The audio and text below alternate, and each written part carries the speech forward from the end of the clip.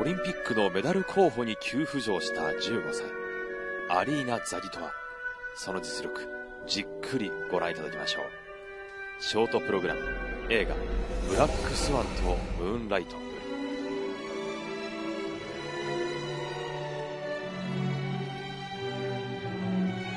ジャンプ3つはすべて後半という変則構成です。フリーと同じということですよね。ジャンプを後半に持ってくるというのはね。今までそういう選手はいませんでした。ですね。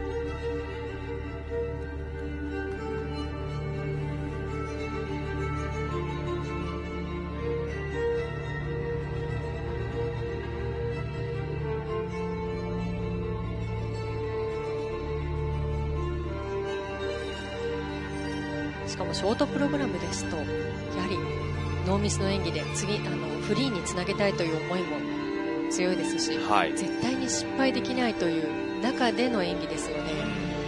でもそれでも後半に失敗できないジャンプを3つ持ってくるというのはそれだけのもう自信があるということですよね。恐ろしい選手です。いやー、そうですね。世界女王のメドベージョワと、強豪ロシアの一角です。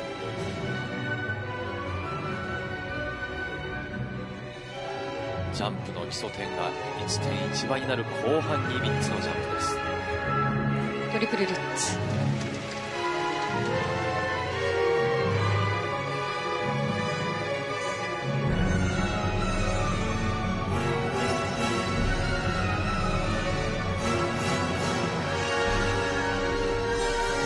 トリプルリップ。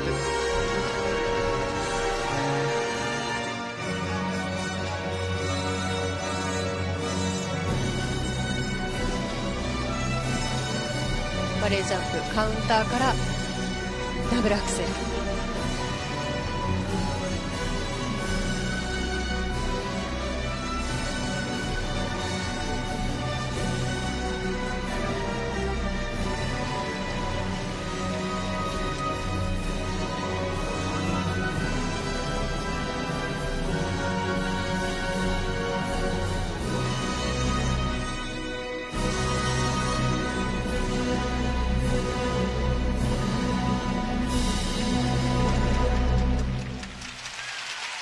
驚異の15歳です。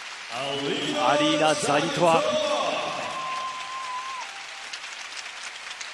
驚異のナンバーです。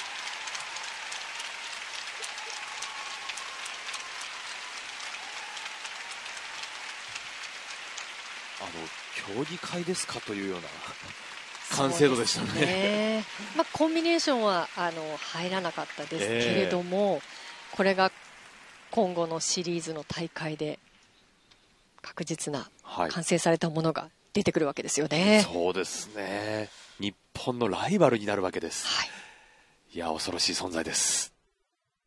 シーズン開幕直前に